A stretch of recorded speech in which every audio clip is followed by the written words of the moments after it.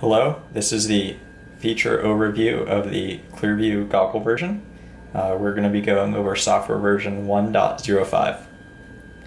So this is displaying live video right now. I just have a signal being generated and you can also see the uh, OSD as uh, on the left top there. These are the stock parameters for the OSD as you will see when your module ships. First thing on the OSD is the lock indicator.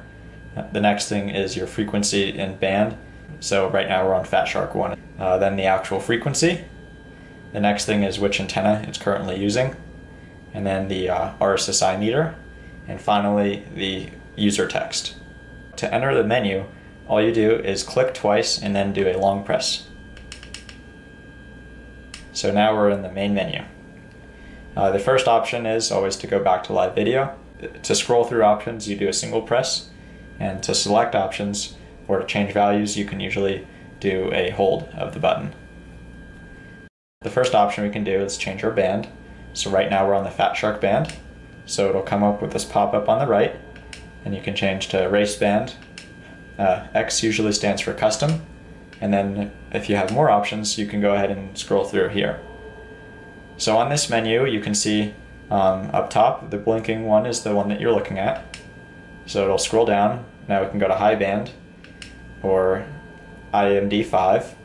Um, and then on the bottom, you can see exactly what frequencies are on that band. So you can see IMD5 has only five frequencies and the last three are blank.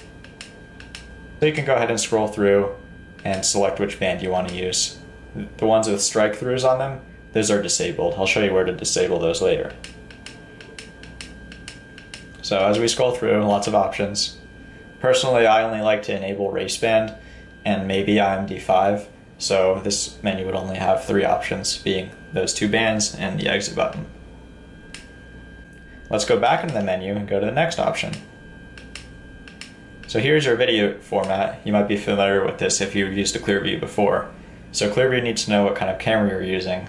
However, now there is an auto mode. We'll leave it in auto for now.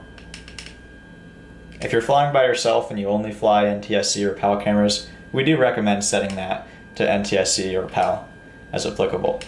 Auto mode works great, but it does result in higher locking times. So in a race scenario, if you need to power cycle your goggles or anything like that, you might have better results staying on a certain format.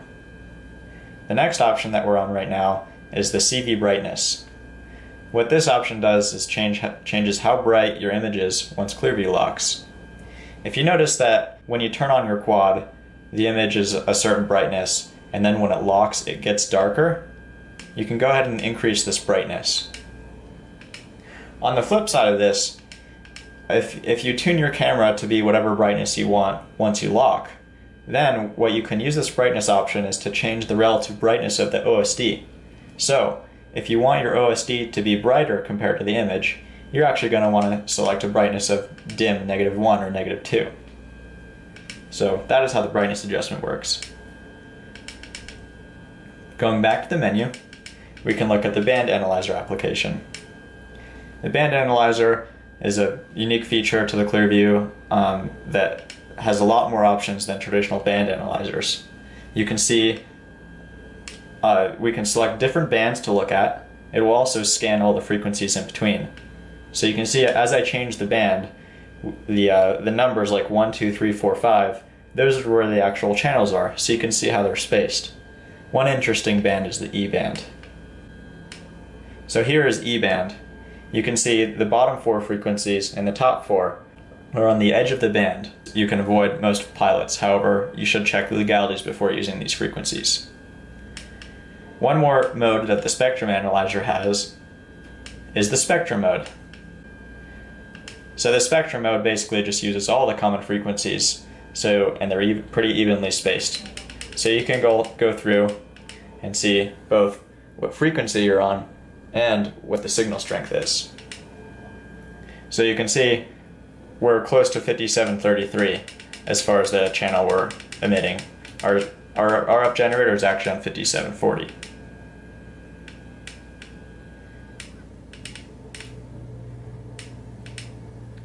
So the next thing is the Lost Drone Finder application.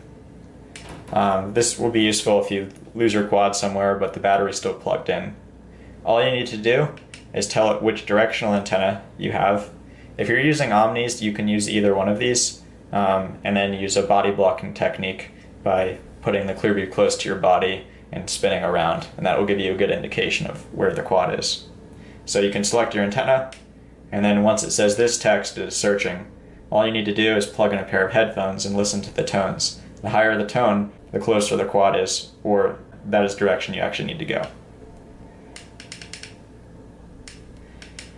Finally, we can go into setup options. Here's where you configure both options for the Clearview, um, set your custom frequencies and bands, and also change your OSD content. So here's the on-screen display menu. So you can adjust the position of it. Um, we have eight predefined positions.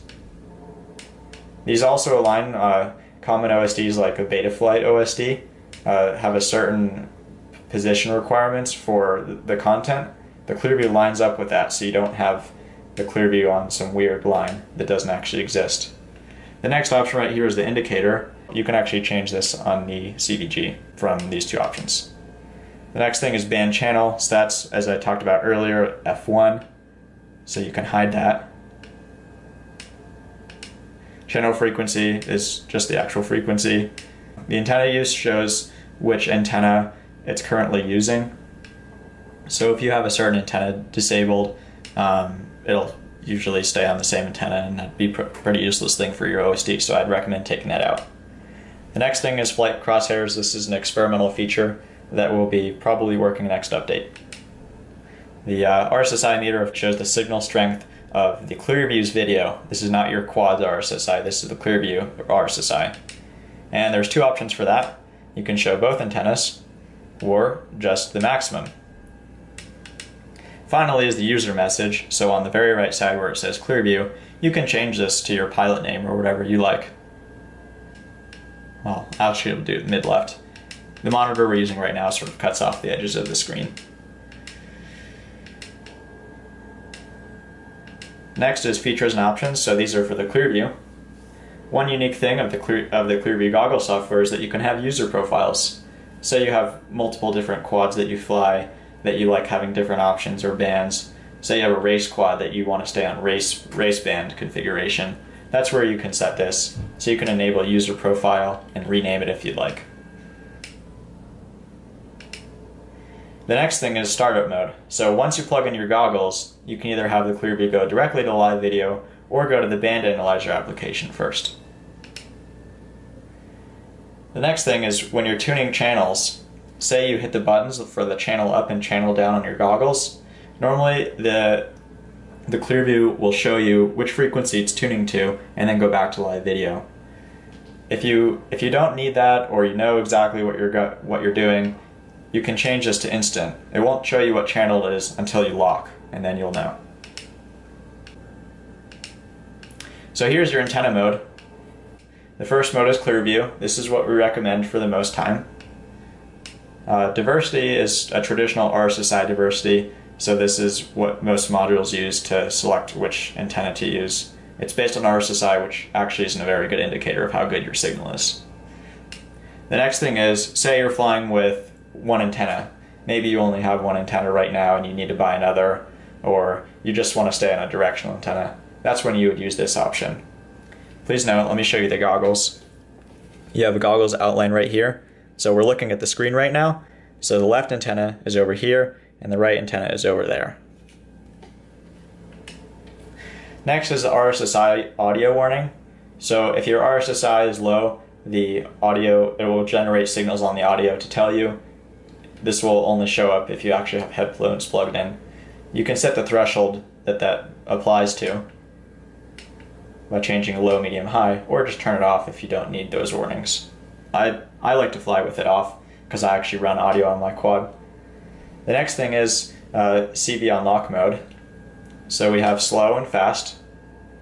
For most pilots, you're going to want to use slow. The only situation where you want to use fast is if you're using multiple cameras, like a camera switcher on a fixed wing aircraft. Say you have one on your canopy and one facing downward. If you change this to fast, then as you change cameras, Clearview will acquire a lock faster. In slow racing mode, it is more immune to other racers' noise. This setting we recommend keeping on fast unless you can achieve a lock.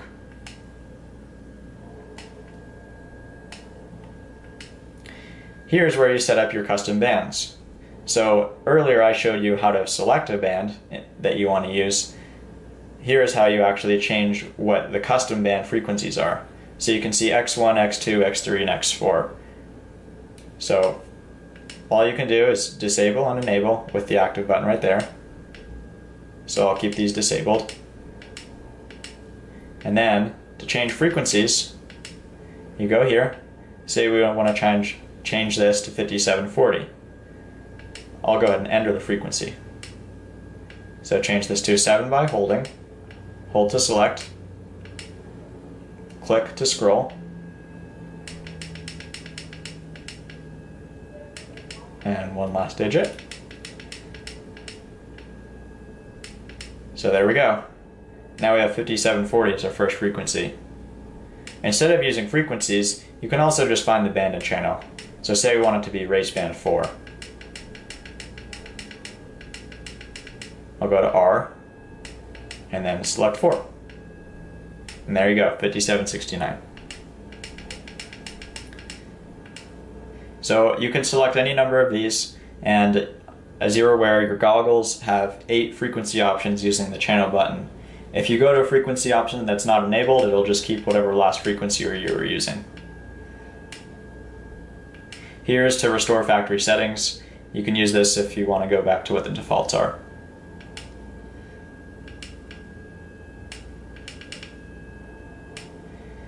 So that should uh, be it for the video. If you have any questions, please let us know. As we uh, update new features and things, we will add notes to this video, and once it changes enough, we will probably remake the video. Thanks for listening.